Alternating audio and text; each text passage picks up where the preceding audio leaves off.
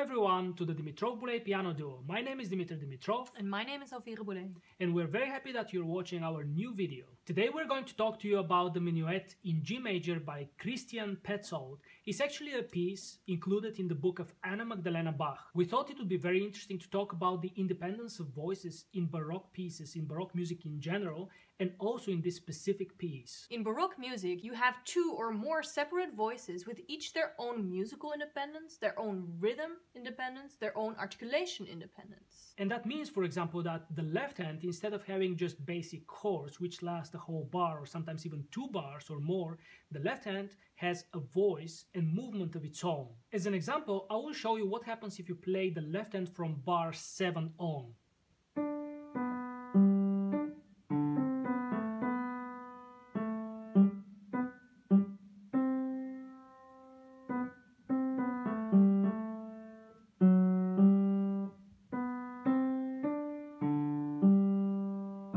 That was from bar 7 until bar 16. You can see that the left hand has a very long line of its own. And if you look at bar 25, you can see that the left hand again has an independent line.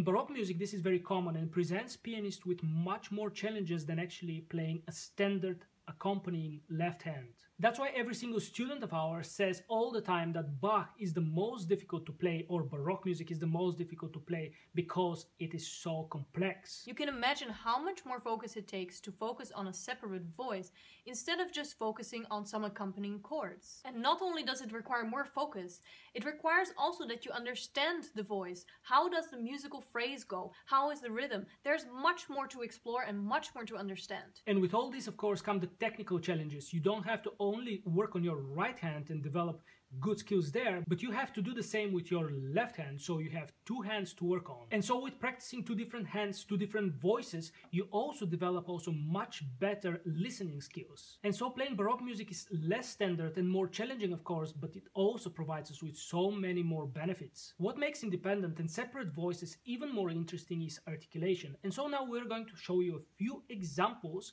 where we have independent voices plus a very specific articulation and how you can practice in order to achieve good results with those places. I want to go back again to the example of bar 7. First I showed you that the left hand has an independent voice, which is true, but there are two ways you can play the left hand according to the articulation. First, if you don't use articulation, that's one, because many of our students don't actually use any articulation because that's more difficult. So the left hand would sound like this.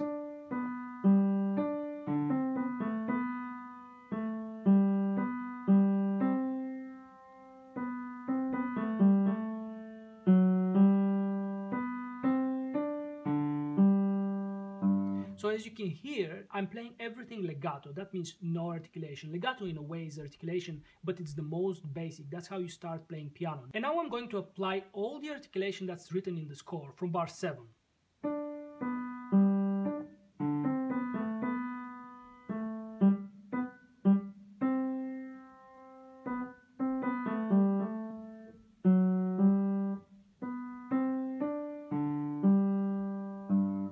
Probably you could hear that in some spots I took a little gaps, I took a little breath of air, and that's what articulation is. I didn't connect everything, I didn't make everything legato. As well as in playing actually staccato as is indicated in bar 10. And you see how much more energy and character and again, independence it gives this voice. It's obvious when you do left hand alone, but it becomes even more interesting when you put hands together later on. Now, while left hand is playing something interesting, right hand has also something interesting going on from bar 7. Of course, from earlier on, but my example is for bar 7. Right hand goes like this.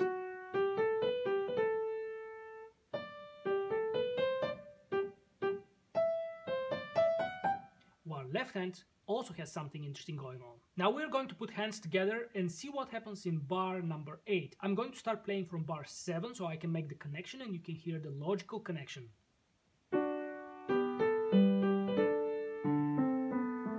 Now what I did is I basically played the left hand all legato, but if you look more carefully in bar 8, the first D, the first quarter, is actually disconnected from the 8 notes. Now listen how that sounds if I apply it. Instead of And so we have two options. One is left hand to keep on playing legato, and the other option is for the left hand to disconnect between the D, the first quarter, and the eighth notes. The second option, where you disconnect your left hand, is much more difficult to do and actually much more beneficial for your technique and development. Not only is it more beneficial, it's simply what is written and you have to get used to reading a score as it's written. When there is one slur, that means everything under that slur is to be played legato. When there are two slurs, that means they're not connected, so you need to literally disconnect them. How can we exercise actually this? How can we make this articulation easy for us? Well, the first thing to do is to actually play left hand separate. Like I showed you in the very beginning, I showed you hands separate like this, very slowly, and make sure that here you disconnect. And then repeat it a few times.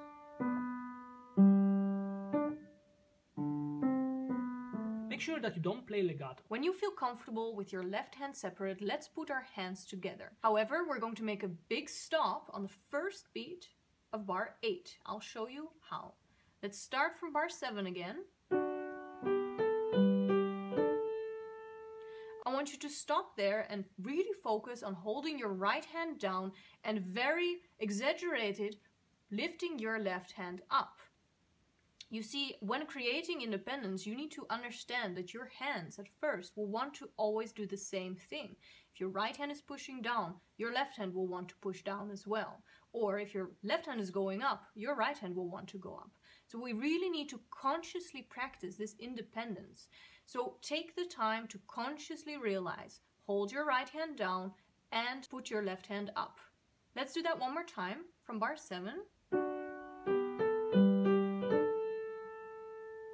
7. don't play anything further. Only do that until you're very comfortable and confident with it.